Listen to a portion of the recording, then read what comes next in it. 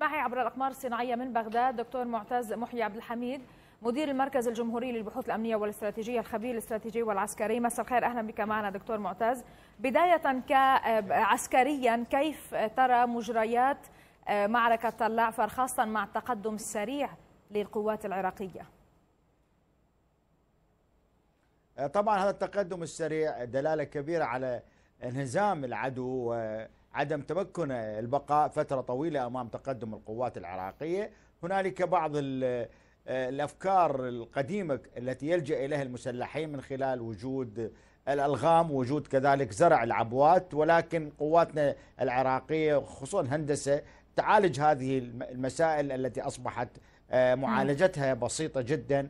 وكذلك ما يسلك سلوك البداءة في موضوع التضليل الطيران القوة الجوية من خلال حرق الإطارات وغيرها من الأساليب القديمة التي استعملها في مدن سابقة دلالة كبيرة أن قدرته على الصمود في هذه المدينة سوف تكون قليلة جدا وسوف ينهار بالأيام لماذا؟ القادمة. ما العوامل يعني استراتيجيات جديدة للقوات العراقية دعم أكبر أنهك داعش بالموصل وهذا بطبيعة الحال يعني يلخص لنا مجمل قادم معركة تل عفر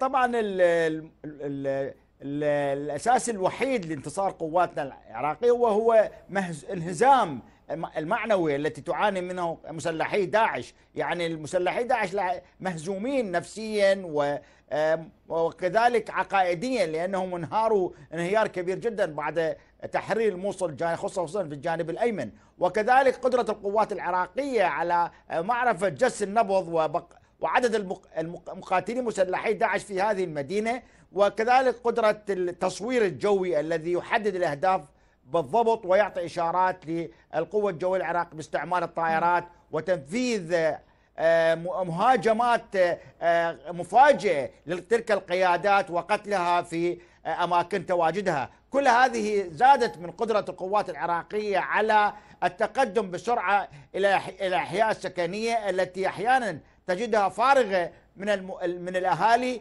الذين حصروا في أماكن في داخل المدينة حتى يعتبروا مسلحين دروع بشرية دون تقدم القوات إلى محور المدينة وسقوطها نعم بعد أيام. أحياء آه، عديدة تم استعادتها من قبل القوات العراقية آه، تم فتح طريق الاستراتيجي من الكسك باتجاه صلاح الدين آه، لا أعرف ماذا يمكن أن نفهم عن أهمية ما أنجز حتى الآن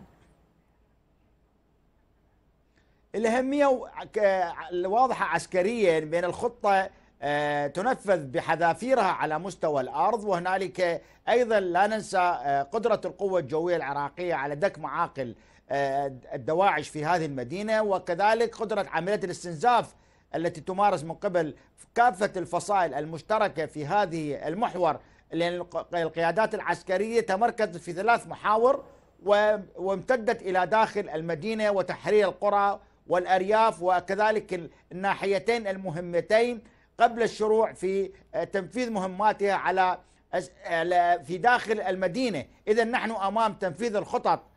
ليس مستعجلين ولا كذلك سريعين ولكن يجب أن نحتاط من آه، وجود آه، مواطنين يجب أن نخرجهم بسلام من هذه المدينة. وكذلك أيضا يجب أن لا نعطي إشارات واضحة لعملية وجود قوات تفاجئ قوات من الخلف أو تفتح جبهة جديدة في مدينة أخرى من المدن القريبة من تل عفر.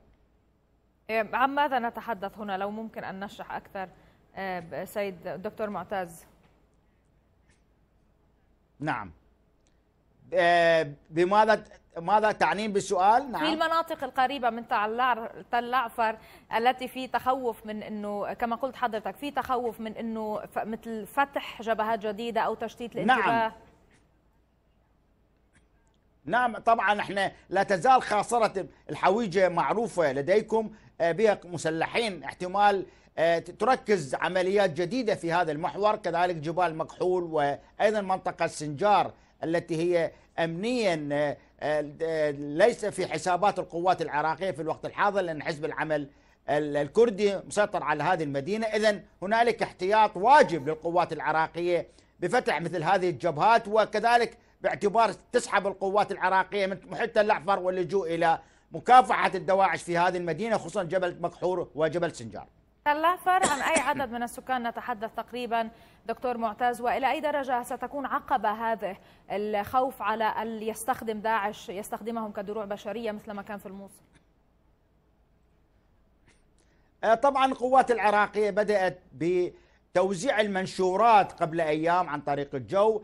نشرت أكثر من مليون منشور دعت المواطنين إلى اللجوء إلى المساكن خوفا آه، احتياطا من آه، سحبهم كدروع بشرية وكذلك إشعار القوات العراقية بأنهم يرفعون الأعلام البيضاء للخروج من مناطق آمنة حددتها القوات العراقية نعم. أيضا لا تزال القوات العراقية تلجأ إلى استعمال المذياع واستعمال كذلك الإذاعات المحلية لنشر النداءات للمواطنين بعدم الخروج اثناء القصف أو اثناء القصف المدفعي وغيرها من الأساليب التي تعتمد في حرب المدن والشوارع، اذا نحن نحن أمام مهمة آه، تقريبا أنجزت في الموصل بسلام يجب أن تنجز أيضا على مستوى الأرض في تل أحفر بخلاص المواطنين من آه،.